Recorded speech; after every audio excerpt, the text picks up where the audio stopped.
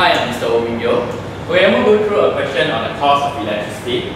A 2000 watt aircon is turned on for 8 hours. So calculate the amount of, to of uh, electrical energy used in kilowatt hour. To calculate energy, we use a formula. Energy is equal to power times time. So in this case, it's a bit special because the energy is in kilowatt hour. So our power must be in terms of kilowatt and the time must be in terms of hour.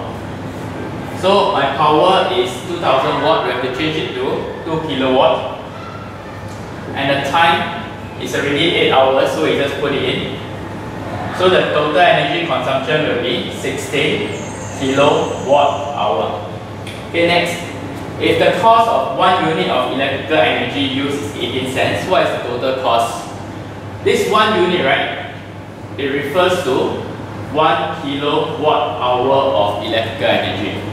So, with this, the cost will be equal to the energy in terms of kilowatt hour multiplied by the rate.